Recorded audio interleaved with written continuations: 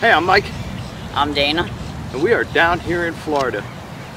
Dana won a trip down here to see a concert. I want to say thank you, Sony Music and iHeartRadio. Yeah, thank you very much. So we got a little break from the winter weather. Took a long weekend, headed on down here. We're going to do some herping while we're here because we got a little downtime. Why don't you come on and join us? I'm catching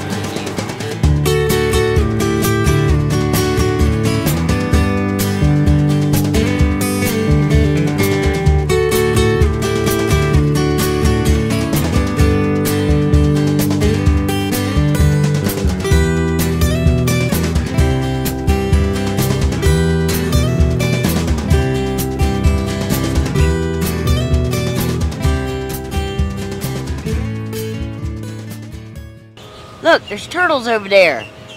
See them? You think we can walk over there and catch them? I don't know. It's pretty muddy over there. There's a lot of little fish, but I don't see any alligators here. Look, it's a big turtle. See him? I'm on it. I'm That's on a big turtle. Come up to the top. Just Diving. Coming after the bird. That'd be funny if he jumped up and ate that bird.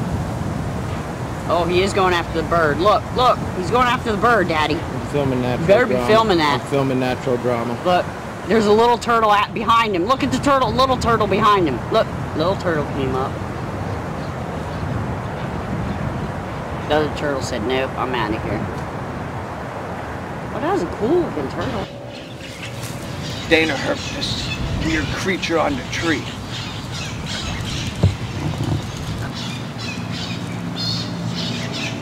Probably a lifer for me. Oh, I see him. Mm-hmm. He's really cool. Look, I herped him. I found him all by myself. Tell me I'm not a herper. Look what I just found. That was some kind of snake.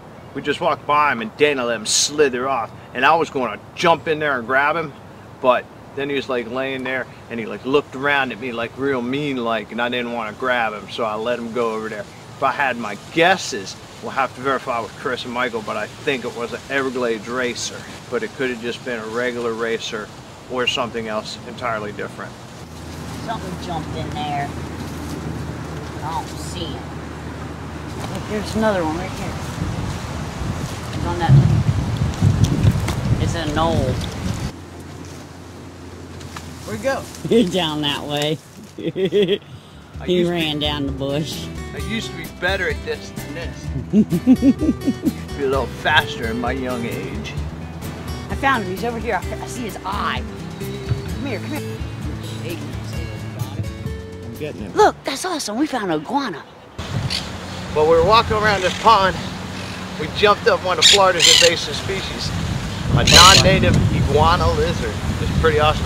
He didn't like us going after him though. He went straight in the water. We weren't able to catch him, but we'll keep trying. Now you got Oh, oh, we got another Yeah. invasive Oh, look, lovebird. right above us here. Lovebird. There's one right there. Look, there he is, right there. Where is he? Right there. There's one over there in that bush. Oh, the one over there in that bush left. I That see one's it. right Up. here. Oh, wait, there he Oh, is. he's going up there. Up. He's up there. He's up there. Right there. Oh, he's a baby.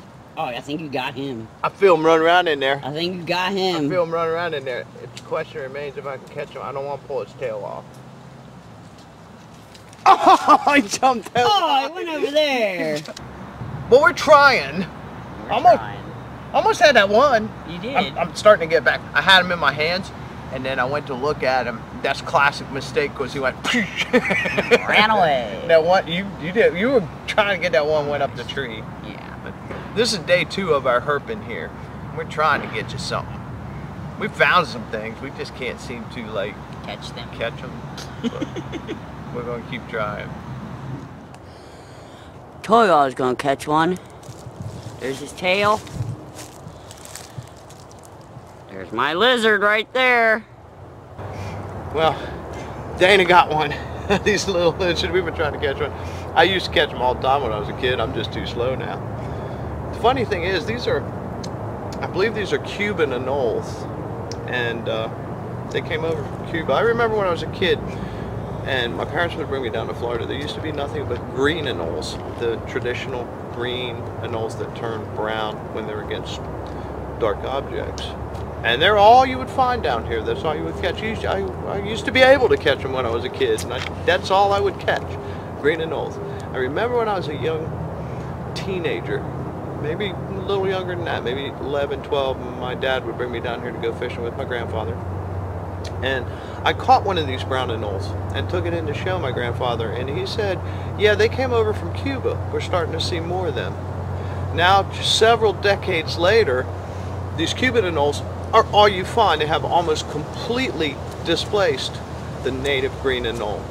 And that's a problem here in these subtropical climates like Florida, like Texas, where it stays warm year-round, is that these imported creatures from the tropics and from further south get established here and move the native wildlife out. I'm going to hand you over to uh, my son Chris on that.